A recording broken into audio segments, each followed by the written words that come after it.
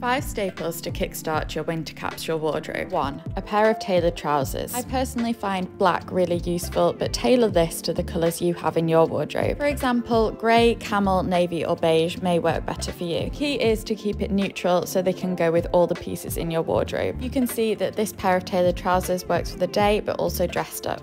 2. A classic coat. A long, straight, smart coat will stand you in good stead for all occasions, from workwear to weekend. 3. A high neck chunky knit. Not only will this keep you really warm, but it's also a piece that looks effortlessly cool.